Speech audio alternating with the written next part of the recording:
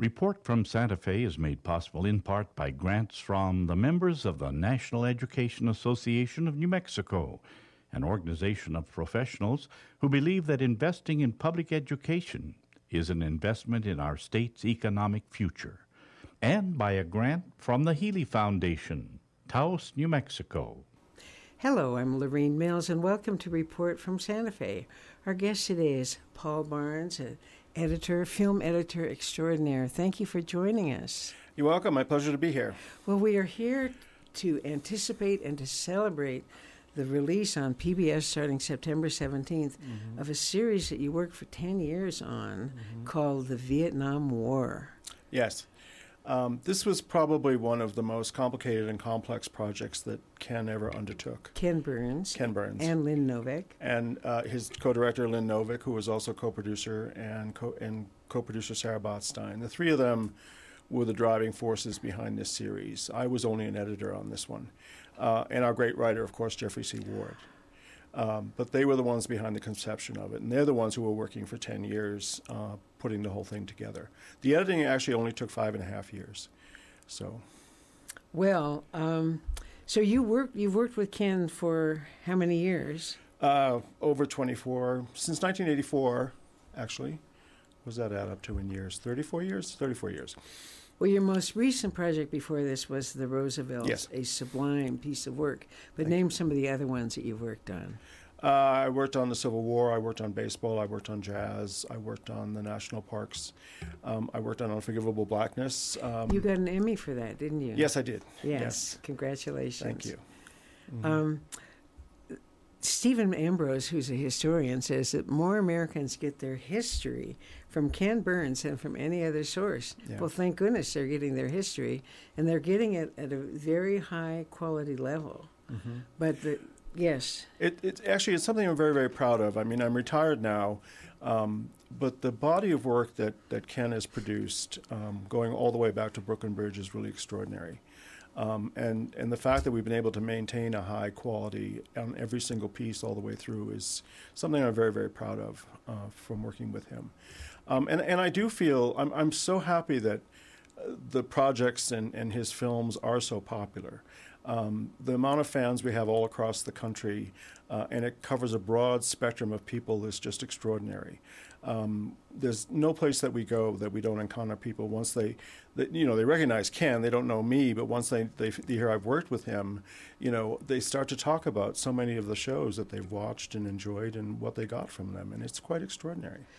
Um, I'd like to ask you why he finally chose this project. He did say one thing about why it was important to do now. He said the seeds of disunion we experience today, the polarization, the lack of civil discourse, all had their seeds in Vietnam. I can't imagine a better way to help pull out some of the fuel rods that create this radioactive atmosphere than to talk about Vietnam in a calm way. Absolutely. I mean, that was the whole basis for why he wanted to do it. Um, he has seen uh, really the, the beginnings of the red state, blue state America started in Vietnam. Um, and he figured that, you know, it, it's about time we start to have discourse about this and try to come together in some way and, and, and solve this divide, uh, which seems to be growing larger instead of, in, instead of, of getting smaller. Uh, and it concerns him a great deal. And he thought Vietnam would be the perfect vehicle um, to do that, to have a calm discussion about that war and, and, and its many flaws and its, uh, it, it's, it, you know, the, the many good intentions behind it. Uh, discuss the whole thing. Um, one of the brilliant things about the series for me is that it, it, triangulates the story between the United States, South Vietnam, and North Vietnam. Um, and, and to Lynn Novick and Sarah Botstein's credit, they pushed Ken hard to interview the North and South Vietnamese uh, veterans of the war, uh, only because they felt that it, it broadened the whole perspective of, of what the war was all about to understand um, these people that, that we had basically gone into their country and, you know, um, we're trying to dictate to them the way in which they should live. Um, and it was important to get their point of view. And I think when viewers see them, they'll be quite taken with the interviews from the North Vietnamese and the South Vietnamese with their take on what it meant to them, the war. Uh, there are 79 on screen interviews, right. most of which Lynn had done, right? Is that? Yes. Yes. Yeah. Uh, and it's interesting that it's a kind of ground up view of the war, she explained that there were sort of two, a couple of ground rules, which is not to have experts or talking heads or mm-hmm. historians, so you don't have Seymour Hersh talking about My Lai, mm-hmm. and uh, not to have the famous figures that suck up all the oxygen. Uh, McCain, Jane Fonda, Henry Kissinger, just to have it from the point of view. I'd like to show uh, one little, we'll start with a clip by uh, Vincent Okamoto. Tell me about him a little bit. Uh, Vincent Okamoto was a remarkable man. I think he's uh, again he he went into the war fully believing that it, it, it, had a good cause and a good purpose. And once he went through what he went through there, um, his he came back, you know, with his mind changed, uh, and really questioning whether the government was right to intervene in the way in which they had intervened. Um, you know, but he was an incredibly brave soldier. You'll you'll see the sequence in the film. Um, he has amazing respect for the men uh, who who uh, were under his charge. Um, he's gone on to become, you know, a judge in California, which is he's had a really remarkable career. Uh, but he's one of the best spokesmen, I think, in, in the entire film. Well, let's t- take a look. This is a clip called Men Like This. Let's look at it for a minute. Mm-hmm. You know what? The, the real heroes are the men that died. 19, 20 year old high school dropouts. They didn't have escape routes that the elite and the, the wealthy and the privileged had. And that was unfair. And so they looked upon military services like the weather. You had to go in and you do it. But to see these kids who had the least to gain, there wasn't anything to look forward to. They were going to be rewarded for their service in Vietnam. And yet, their infinite patience, their loyalty to each other, their courage under fire, uh, was just phenomenal. And you would ask yourself, how, how does America produce young men like this? To what he says about we always thought courage was standing up under fire or charging a bunker mm-hmm. but for these young people you know just out of high school if that mm-hmm. um, to display the courage and the loyalty and and you know, like he says, it's like the weather. You just have to get through this. Mm-hmm. I just found that a really moving scene, and it puts you right back again with those with the soldiers at the bottom, the routine soldiers, who answered the call with such courage and mm-hmm. grace. Right, exactly. Uh, but also then, you know, uh, took amazingly good care of, of each other. Uh-huh. Um, you know, under the most horrible of circumstances. Um, and I think that's one reason why Vincent says, you know, how is it that America can produce these kinds of young men uh, of this kind of courage? And uh, another aspect of what you all seem to try to do in this series, I am astonished at how even handed it is, mm-hmm. almost to the point of, well, we'll, we'll show a clip in a minute, but even in the sponsorship, you had the Ford Foundation, the Rockefeller, but you had David Koch too. Mm, right. So you had both sides, and then in terms of, of of people giving their point of view on different events, and it's not just one side than the other, and they've got a balance. But it's a really fair distribution of many perspectives. At the one of the on the on the posters for the Vietnam War project, it says there is no single truth about mm-hmm. war. And another part that we're going to show a clip in a minute of some of the protests and the voice. Uh, well, tell me who Bill Zimmerman is and who James Willbanks is. Certainly. Um, uh, Bill Zimmerman was uh, um, an ardent anti war activist. Um, really, he was at the very beginnings of the anti war movement. The first uh, demonstration that Bill attended, he remembered, only 15 people showed up. and hmm. initially, that was incredibly discouraging to him. But then over the over years, he, he saw the movement grow and grow. Um, James Willbanks uh, was a military man, uh, very much committed to the war in Vietnam. Still believes that we fought it, you know, for good reasons. Um, and so it's you know they're both from opposing camps in terms of what what the what the war was all about and, and whether it was worth fighting or not. And in terms of the single truth of when you did the program about jazz, Wynton Marsalis, I can only paraphrase this is, is able to clearly state sometimes a thing and the opposite of a thing are true at the same time. Right, exactly. And so what I love is that nobody's coming in and adding up the points for this side or that side and saying you win. It's just like let's look at it this way and this way. And so let's look at this clip of the protests in uh, I think 1969 in Washington D.C. It right. starts with uh, Bill Zimmerman, the anti-war protester, and then it shows James Willbanks, an army advisor. Let's take a look.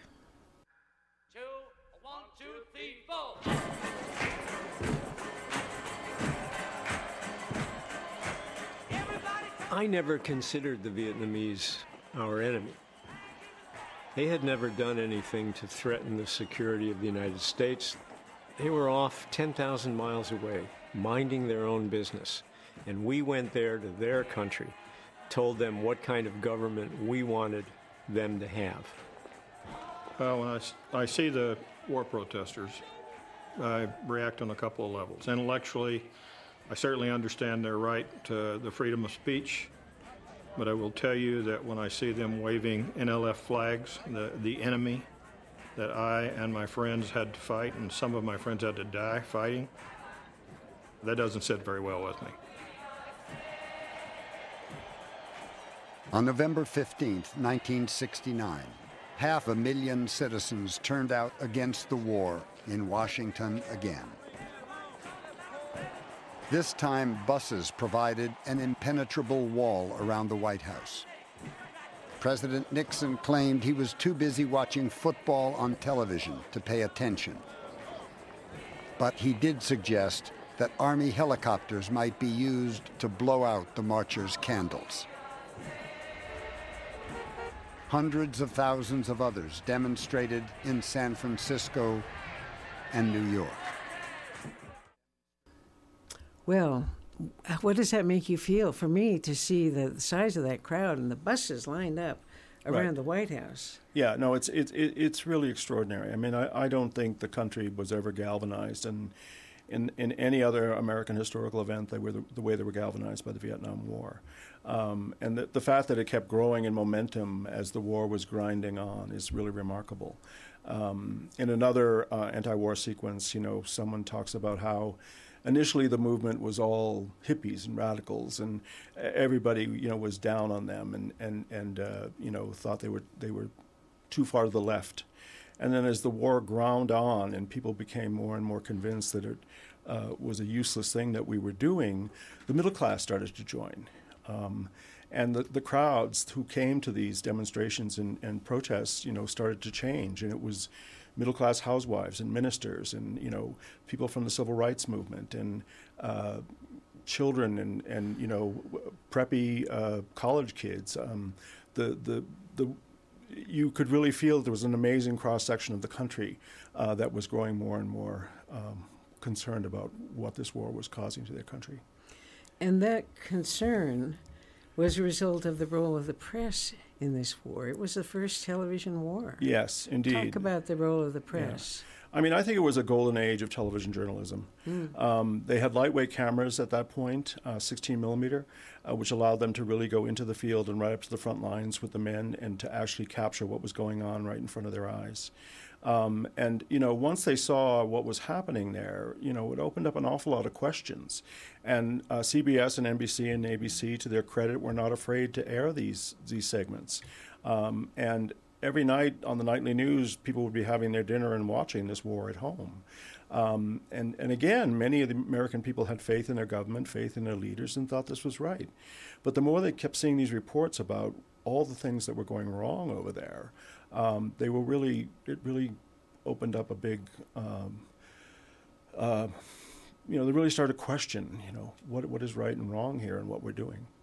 We're speaking today with Paul Barnes, who is an editor on the beautiful PBS series, that beautiful, powerful PBS series, The Vietnam War. We're talking about the role of the press. It was also very dangerous for the press.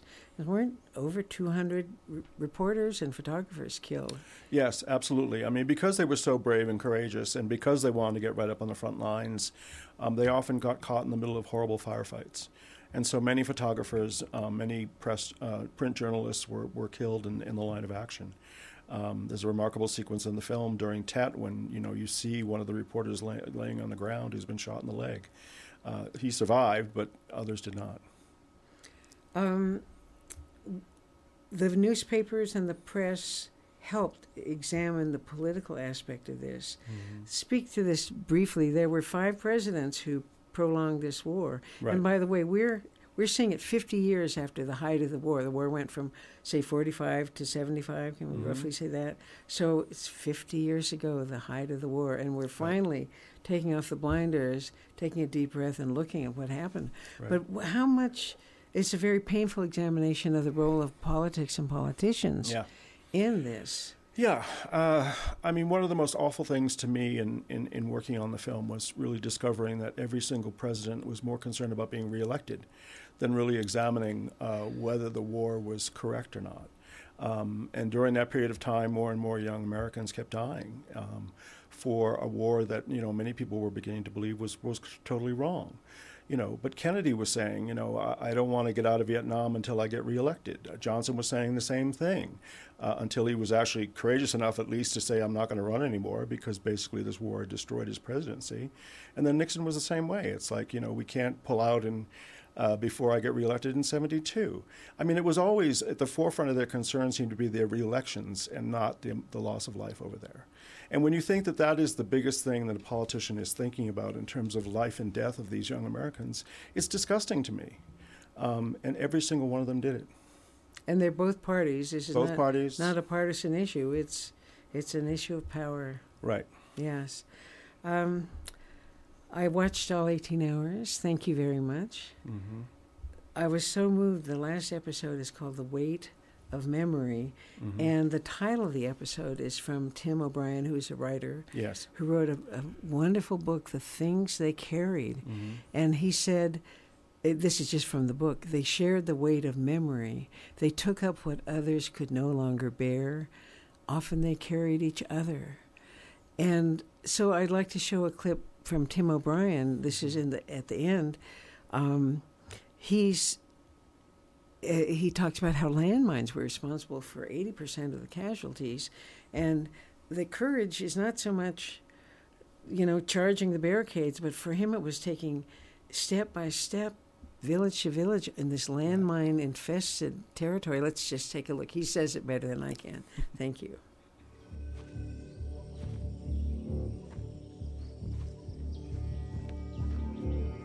Somewhere around 80% of our casualties came from landmines of all sorts. In Vietnam, for me, just to get up in the morning and look out at the land and think in a few minutes I'll be walking out there and will my corpse be there or there? Will I lose a leg out there? I'd always thought of courage as charging enemy bunkers or standing up under fire. But just to walk through Quang Ngai day after day from village to village and through the paddies and up into the mountains, just to make your legs move was an act of courage that, if, say, you were living in Sioux City, it wouldn't be courageous to walk to the grocery store or down Main Street. To just have your legs go back and forth. But in Vietnam, for me, just to walk felt incredibly brave. I, I would sometimes look at my legs as I walked, thinking, how am I doing this? that to me is so powerful we don't think of the courage of Oh. walking in where you can be blown to bits at any Right. minute I know. I mean, that was a, an extraordinary piece of his interview. I mean, again, I think Tim is one of the best interviews in the film. Yes. But that particular piece, just about the act of walking, which took so much courage for him to do on a daily basis, is just remarkable. It's, it is hard to think about. I mean, he talks about, you know, how easy it is to walk around an American city. You don't even think you're walking, you know, but when you're in Vietnam with all the dangers inherent in going out there, it's like one step in front of the other. You don't know what's going to happen. yeah and say And that's well, that's yeah. a daily concern. I mean, he had to live with that day after day after day after day. And this was actually a man who did not want to go. And the only reason why he basically went to the Vietnam War be- was because he thought all of his neighbors back home would look down on him um, if he didn't do his duty as an American citizen and go and fight this war. Well, he left us his book, The Things They Carried, is really a, a powerful piece, and he is another one of my favorites. You have another favorite that we don't have a clip from this time, but we will because we're going to revisit this. Yes. Tell me about your favorite interview subject. Uh, John Musgrave, who was a Marine, uh, who was from a, a, little town outside of Indianapolis. Um, he is, I think, next to Shelby Foote, maybe the greatest interview that we've ever conducted in any of our films. Um, and, and John was horribly wounded uh, in Vietnam, almost died, um, luckily survived, uh, came back, and has been working with veterans from Iraq and Afghanistan and trying to deal with their PTSD. Uh, John almost committed suicide twice.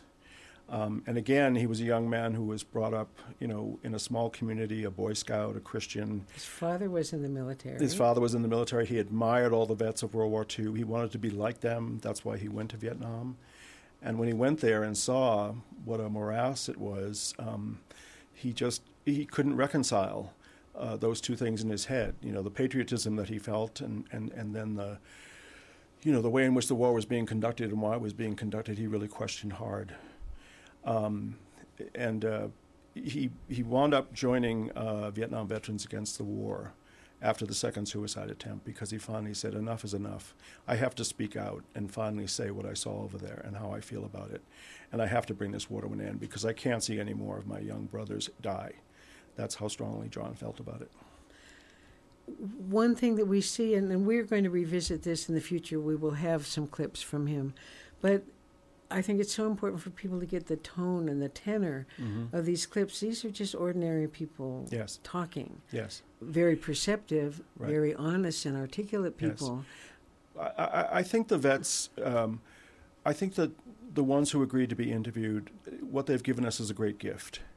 Uh, because they're open and they're honest and, and they tell it, they tell the unvarnished truth, the unvarnished feeling about what they went through uh, as they saw it, as they lived through it. Um, and, and, you know, for many years, Vietnam was the war we're not supposed to talk about. It was supposed to be left silent and just, you know, let's ignore it, let's forget about it. Uh, it was a disaster for this country, and, and we should just not even think about it anymore. And many of the vets, I think, felt hamstrung uh, when they came back home, they were looked down upon. Uh, many of them were called baby killers, and they didn't want to wear their uniform because they got abused in public if, if they were in their uniforms, and so they just they clammed up, uh, and all of that was held in uh, uh, held inside, and I think was one of the reasons why there were so many suicides and and and uh, cases of PTSD associated with that war, um, and, and you know and finally, it takes an awful lot of courage to just say, you know, I've got to tell my truth. And I think for many of these people, the the film allowed them to do that, to finally sit down and reflect back on what they went through, and to tell their stories honestly. Um, many of them opened up and told us things they'd never told anybody else before, because they felt it was an opportunity. Um, and, and just because they did that, I mean, it's a great gift to the American public to finally hear their honesty about what happened. And those are among the things they carried inside that they couldn't t- tell anybody where they were, the things they'd seen. They'd come home to the wife and kids. Right. Never talk about it. And we were, you know, I knew many of those. Never, you can never mention it. Just do not. But they did a wonderful thing from that because the Vietnam vets were passionate about making sure that the Iraq War vets and Desert Storm vets that they were treated that was always honor the warrior even yes. if you don't like the war yes. you have to honor the warrior and this yeah. this your program, this series, truly honors the warrior. I, I, hope I hope that it does, and it's part of the reason why we made it. You know, was to give them some due respect and honor for what they went through. Now, um, the last part with the withdrawal agreement and Nixon resigning and the abandonment of our South Vietnamese allies. Uh, even Walter Cronkite says we're at the end of the tunnel, and there is no light there.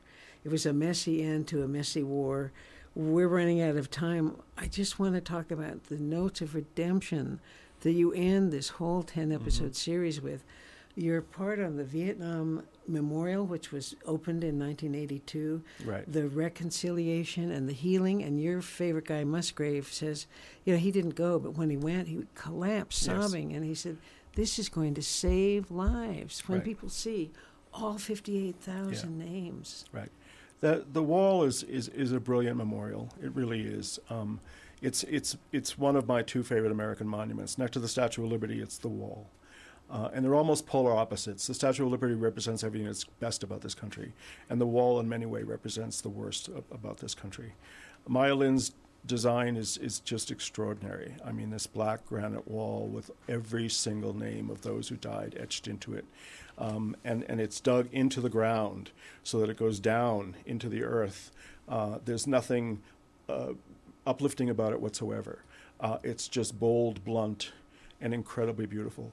And I had the same reaction when I first saw it. Not that I went through the war, um, but it brought me to tears. And I've been there many times, and every time I go, it still does. It, I cut that scene, and it was very hard for me to cut it because oh, of the emotions involved. It's so powerful. I, I was crying. It was just, we're almost out of time. Um, there's a whole part of the normalization of Vietnam where vets went back and they worked yes. with schools and planting trees. And even Obama, when he went, said, We've shown that hearts can change mm-hmm. and that we can put the past behind us. Another writer said we can get closure. We may not get closure, but we can get peace. Right. What is your, how do you want our viewers to approach this series? And, and it, do you think it will change hearts and minds? Well, I'm, I'm, i really do hope that it will. I mean, it's the kind of, of, of reconciliation that the vets were looking for, uh, the kind of peace they were looking for when they went back to Vietnam. Um, I think we're hoping the series might do the same for the American public, um, to really recognize the universality of uh, uh, the the emotions and the sufferings that, that people go through in, in warfare. Uh, and because of the honesty again of the South Vietnamese and the North Vietnamese voices, they're so akin to the American voices. I mean, it's like they are brothers. And when the vets went back, you know, they were happy to meet the North Vietnamese uh, soldiers that they had fought against, you know, they were embracing them. They were telling each other stories about common sufferings that they had gone through during this war. I mean, and by the end, many friendships were formed. Uh, you know, they were embracing each other's like, like, like brothers were. I mean, they were brother soldiers basically, uh, and, that's a remarkable kind of a thing. Um, in some way, if, if, if the red and blue in this country can watch this show and think hard about you know these these divisions that have that have occurred, if there's some way to have a discussion and, and, and to try to come to some kind of reconciliation about these issues that are dividing us so deeply, uh, which had their roots in the Vietnam War, uh, that would be a wonderful thing if that was one of the end results of the series. Well, we are going to continue this discussion shortly once people have had a chance to see maybe the first week because mm-hmm. it's uh, starts September 17th. Yes. It's two hours a night, well, four hours a night. Each segment is, is played repeated. twice, repeated. Yeah. And so um, I look forward to having you back soon. We can discuss okay. this further. But thank you. This is a monumental achievement, and uh, and it's a tremendous gift to the nation. Thank you. Uh, my pleasure. Our guest today is Paul Barnes, and I'm Lorene Mills. I'd like to thank you, our audience, for being with us today on Report from Santa Fe. We'll see you next week. Past archival programs of Report from Santa Fe are available at the website reportfromsantafe.com. If you have questions or comments, please email info at reportfromsantafe.com. Report from Santa Fe is made possible in part by grants from the members of the National Education Association of New Mexico, an organization of professionals who believe that investing in public education is an investment in our state's economic future, and by a grant from the Healy Foundation, Taos, New Mexico.